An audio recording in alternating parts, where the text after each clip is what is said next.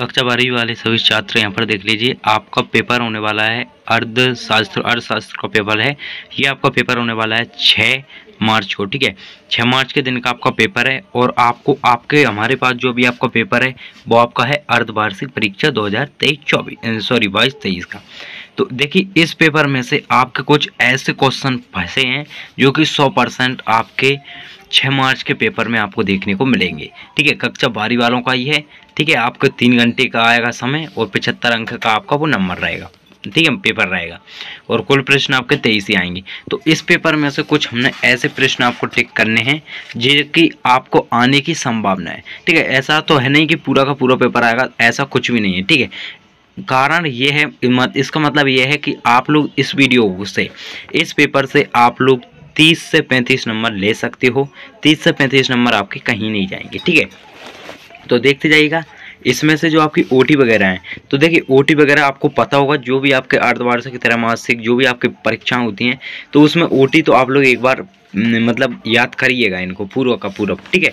OT वगैरह आप लोग सब याद करिएगा। आपको मात्र क्वेश्चन वगैरह हम आपको दिखाएँगे कि आपके जो क्वेश्चन वगैरह हैं, वो आपके कौन कौन से देखने को मिलेंगे आपको। ठीक है? तो इसमें से देख लीजिए, आपके जो प्रश्न क्रमांक दो में इसमें आप लोग इनको पढ़ लेना मात्र, ठीक है? पूरे ओटी आप लोग एक तन से पूरा ओटी याद कर लेना। ओटी ओटियों में से आपको दस नंबर सौ परसेंट देखने को मिलेंगे, ठीक है? इसके बाद आपका जो छठवा है, इधर देख लीजिए, प्रश्न क्रमांक छः आपका है, इधर ये पाँचवा आपको ये सब करना है याद। इसके बाद देखिए, इसमें कुछ ऐसे प्रश्न मिले हैं हमको जो कि सौ परसेंट आने वाले हैं और आप लोग देख लेना। इसमें जो आपका प्रश्न क्रमांक छः अर्थशास्त्र अर्थव्यवस्था से क्या आशय है? यहाँ पर देखिए, वृष्टि अर्थशास्त्र की परिभाषा लगी तो इसमें से 100 परसेंट आपका एक ना एक तो देखने को मिलेगा, दोनों में से 100 परसेंट एक आपको इनमें से कोई सा भी आएगा। ठीक है, ये आपको पूरे यूट्यूब में देखने को नहीं मिलेगा। ठीक है ना? क्योंकि कई यूट्यूबर ऐसे होते हैं जो कि फ़ोटोकॉपी वगैरह करवा लेते हैं और आपको पेपर दिखाते हैं, वो सब फेक होता है, ठीक है? और इसके बाद देखिए, प्रश्न क्रमांक सात में आपका उत्पादन, फलन क्या है? तो इसमें देखिए यहाँ पर वास्तविक वास्तविक लागत से क्या आशय तो इसमें से आप मुझे नहीं है संभावना कि आए। बट आप लोग इनको मात्र, आपको पता है कि ये एक एक लाइन के हैं। मात्र आप लोग एक बार इनको याद कर लो, ठीक है? इसके बाद आप लोग आडवाम देख सकते हो, कीमत सीमा क्या है? इसके बाद अथवा का देख लीजिए, क्या होगा यदि बाज़ार में प्रबलित कीमत, संतुलन कीमत से अधिक है? तो ये भी आपको मतलब एक बार कर लेना है याद बट आपको ये प्रश्न क्रमांक छः बताए ना, इसमें से आपको बस दोनों ही करना है, ठीक है? दोनों कर ही लेना आप लोगों अभी कर लो, क्योंकि टाइम आपके पास बहुत ही कम बचा है। इसके बाद प्रश्न क्रमांक नौ में, यहाँ पर देखिए, कीमत, सीमा के फलस्वरूप किन समस्याओं का सामना करना पड़ा। इसके बाद इसमें देखिए, निम्नलिखित निदा इसमें से मुझे नहीं लगता कोई आए। इसके बाद दसवा देख लीजिए, स्टाफ से क्या आशय है? शुद्ध निर्यात से क्या है तो इसमें से आपको सौ परसेंट एक न एक देखने को मिलेगा, ठीक है? प्रश्न क्रमांक छः में और प्रश्न क्रमांक दस में आपको सौ परसेंट देखने को मिलेगा। ग्यारहवा आप लोग पढ़ लेना, ग्यारहवा में भी ऐसा नहीं लगता है कि कोई फंसेगा, ठीक है? इसके बाद आपको और दिखाते हैं आपका। इसके बाद आप लोग हाँ मतलब जो ग्यारहवें का आपका अतवा का है, वो आपके लाना है, फंस सकता है। देखिए, राष्ट्रीय आय एवं राष्ट्रीय आय लेखांकन में अंतर बताइए। क्योंकि आपको पता होगा कि हम मतलब जब भी कोई पेपर बताते हैं, कोई सा भी हिंदी का, जो भी वगैरह, कोई भी कुछ भी हम आपको पेपर दिखाते हैं तो सबसे पहले हम आपको ज़रूर बताते हैं कि जो भी राष्ट्रीय मतलब सॉरी राष्ट्रीय नहीं मतलब जो भी आपको क्वेश्चन में अंतर देखने को मिले, जो भी आपके क्वेश्चन आ रहे हैं, अंतर वगैरह तो उसको आप लोग सौ परसेंट याद कर लिया करो। क्योंकि आप लोग यहाँ पर लिख लो, अगर आपको अगर ये क्वेश्चन है ना, ये आपके छः मार्च के पेपर में ना है ना तो आप लोग, जो भी आप लोग देख रहे हो इस वीडियो को आप लोग क्या करना, अभी आप लोग हमारे चैनल से देख रहे हो, जब आपका पेपर हो जाए, अगर ये प्रश्न आपके पेपर में ना आए तो आप लोग हमारे चैनल पे आके चैनल को अनसब्सक्राइब करना, जो आप कमेंट करना चाहो, वो कमेंट करना, और वीडियो को डिसलाइक करना, जो भी आप करना चाहो, सब कुछ करना, ठीक है? और मैं सौ परसेंट गारंटी के साथ कहता हूँ, ये प्रश्न एक बार और अच्छे से याद कर लो। राष्ट्रीय आय एवं राष्ट्रीय आय लेखांकन में को अंतर बताइए। दो नंबर का होने वाला है, सौ परसेंट आए इसके बाद बारहवें में देखें तो बारहवें में आपको अथवा का कर लेना है, मुद्रा आपूर्ति क्या है? ठीक है, इसके बाद बारहवें में केंद्रीय बैंक को परिभाषित कीजिए, ये भी आ सकता है, बट आप लोग को अच्छे प्रकार से इनको याद कर लेना है, ठीक है? इसके बाद तेरहवा में आपको बचत प्रवृत्ति क्या है, ये मुझे नहीं लगता आए इसके अथवा का भी नहीं लगता है, ठीक है? हाँ मतलब चौदहवें के जो आपका अथवा का है, मंग का नियम, ये आपका आ सकता है। इसके बाद आप लोग देख लीजिए, पंद्रहवें का, इसमें देखिए, सीमांत उपयोगिता से क्या आशय है? ये आपका आ सकता है इसको याद कर लें। इसके बाद इसके अथवा का देख लीजिए कुल उपयोगिता से क्या आशय है और इसमें सीमांत उपयोगिता से क्या आशय है? सौ परसेंट इसमें से आपका कोई ना कोई एक देखने को मिलेगा आप लोग देख सकते हो। और हाँ आप आपको मतलब जो आपको इधर बताया था ना ये ये, अंतर तो इसी प्रकार से आपका एक और अंतर देखने को मिला है। देखिए वेस्ट एवं समिष्टि अर्थ अर्थशास्त्र में अंतर। अब ये तीन नंबर आपको सौ परसेंट में दिलाऊँगा। ठीक है? मात्र बस आप इसको याद कर लो। ठीक है? मात्र याद करना है आपको। थोड़ा दो एक लाइन का है मात्र इसको आपको याद कर लो। इसमें आपको तीन नंबर सौ परसेंट देखने को मिल जाएँगे। इसके बाद इसके अथवा का देख सकते हो, अर्थव्यवस्था की केंद्रीय समस्या क्या हैं? ये दोनों अभी के अभी याद कर लो और ये ये वाला। ये वाला।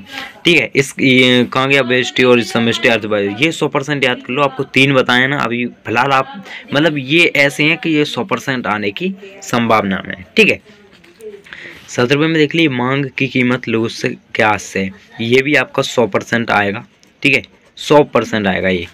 इसके बाद आप लोग देख लीजिए, इसमें कौन कौन से और नहीं लगते हैं। इसके बाद, इसमें आपके लिए देखिए इसमें उन्नीसवें में है, उत्पादन एवं उत्पादन।